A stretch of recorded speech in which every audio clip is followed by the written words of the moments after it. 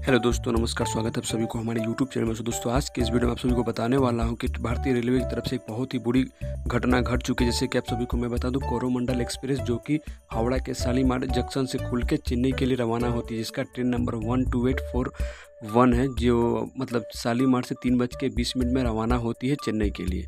तो आप सभी को मैं बता दूँ कि ये उड़ीसा के बालासोर जो स्टेशन है मतलब जंक्शन है वहाँ पे कटक स्टेशन है कटक स्टेशन कह के गोपालपुर, बलखड़ा एक स्टेशन है, जहाँ पे एक मालगाड़ी खड़ी हुई थी। मालगाड़ी वहीं पे मन स्टेशन के पास में ही खड़ी।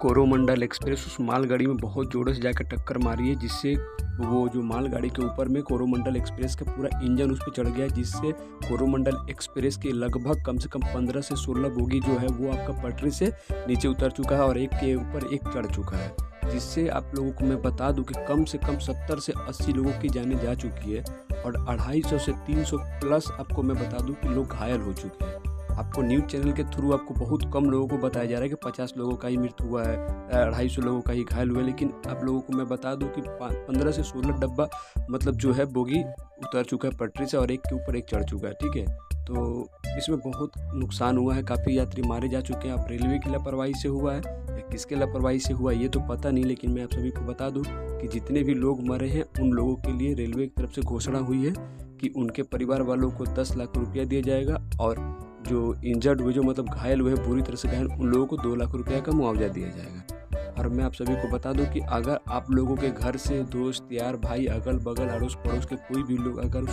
एक्सप्रेस में सफ़र कर रहे हो तो उन लोगों के लिए एक हेल्पलाइन नंबर जारी किया गया है। वो काफ़ी स्टेशनों का, उस, उसमें कॉन्टैक्ट नंबर दिया गया है। उस कॉन्टैक्ट नंबर में आप फ़ोन करके काफ़ी सारे स्टेशन का मोबाइल नंबर दिया गया, उस पर आप फ़ोन करके उस पैसेंजर्स लोगों का जानकारी इजीली ले सकते हैं। ठीक है? इस रूट से जाने वाली सभी ट्रेनों को रद्द कर दिया गया है और जो ट्रेनें जाने वाली भी थी, उन लोगों का रूट चेंज कर दिया गया है। ट्रेन को डाइवर्ट कर दिया गया है। सो उधर से आने वाले और जाने वाली सभी ट्रेनों को बंद कर दिया गया है। सो आई होप कि आप सभी को हमारा ये जानकारी काफ़ी अच्छा लगा होगा। अगर अच्छा लगा होगा तो हमारे चैनल को लाइक शेयर सब्सक्राइब ज़रूर करें ताकि आप लोगों को हमारा हेल्पफुल वीडियो अब तक